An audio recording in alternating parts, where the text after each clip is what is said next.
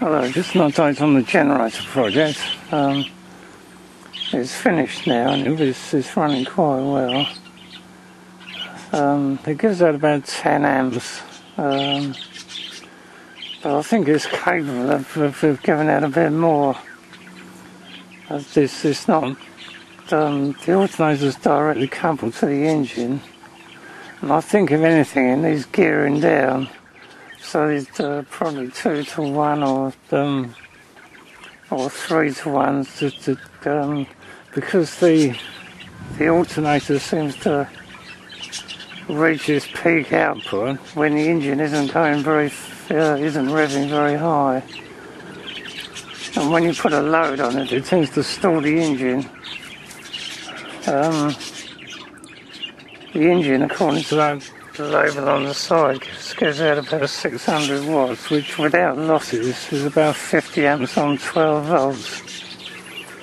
Uh, so with losses, I don't know, probably about 30 amps if, if it was um, running at its most, finished, uh, most efficient format. So I think what I probably need to do is um, have a two to one or perhaps a three to one reduction uh, between the engine and the alternator for it to uh, be more, give more current out because the RPM is very unstable.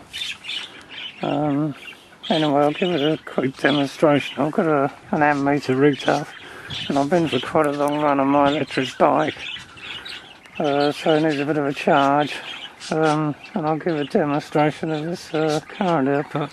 I'll just put the camera on the uh, tripod.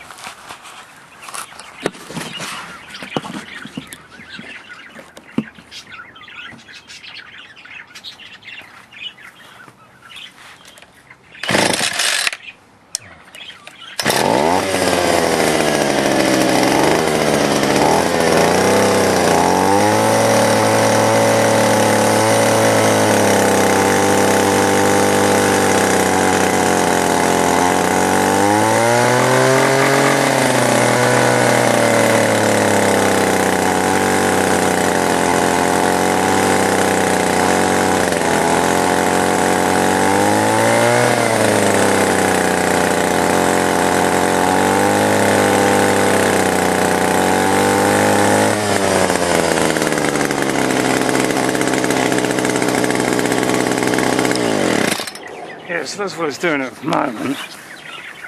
Um, I was trying to show that um, when the engine slows down, it doesn't reduce the current output until it actually stalls.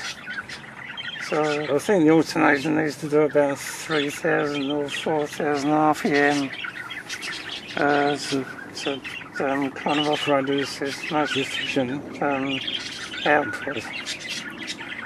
So um, what I might do is rearrange this, put the, put the alternator by the side of the engine so the shafts are in the same direction and then have a pulley system.